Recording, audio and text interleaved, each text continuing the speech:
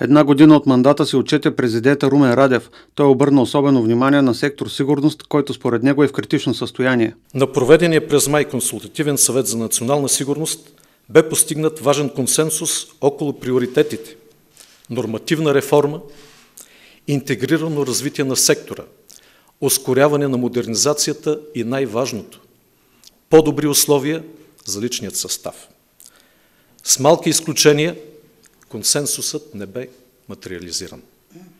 Напротив, тенденциозно сформираната парламентарна комисия за нови изтребител блокира цялостният процес на модернизация на въоръжените сили.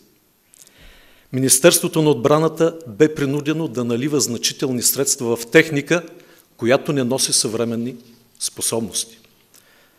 Но и това не се случи поради липсата на подготвени договори в края на годината което доведе до още по-тежко положение. Нито нова, нито ремонтирана стара техника. Румен Радев не пропусна да засегне и темата с Истанбулската конвенция. Според него тя не трябва да бъде ратифицирана в този момент. Тя е много показателна какво не трябва да правим. Да подписваме документ, без да е дебатиран тук, без да знаем реално какво следва от него.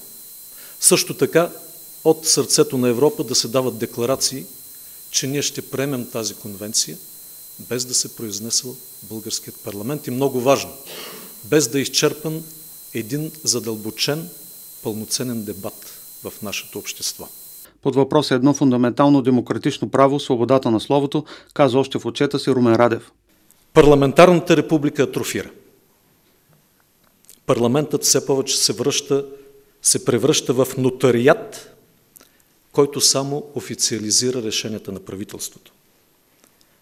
Партократските механизми убиват свободната воля на депутатите. Доверието в Народното събрание е критично ниско. Споделям го с много болка и тревога, защото това е най-висшият политически орган в държавата. И когато той отслабва, отслабват и всички останали институции. Корупцията и несправедливостта деморализират цялото общество.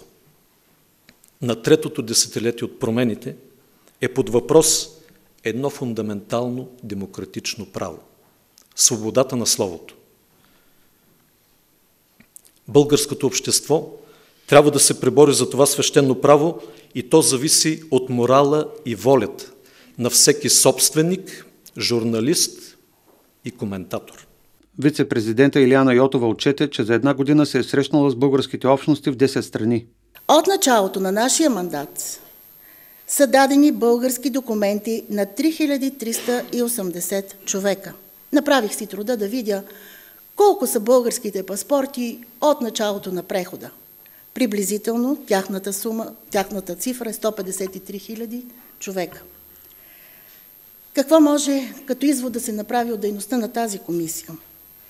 Знае, че са много ревниви другите институции, но и те осъзнаха най-накрая, защото работим в екип и всички имаме едни и същи трудности, че е важно да има промяна в законодателните уредби на трите закона за българите в чужбина, за, за българското гражданство и за пребиваването на чужденците в България. Илиана Йотова заяви още, че за една година в Комисията за помилвания са подадени 577 молби, като са издадени 7 указа.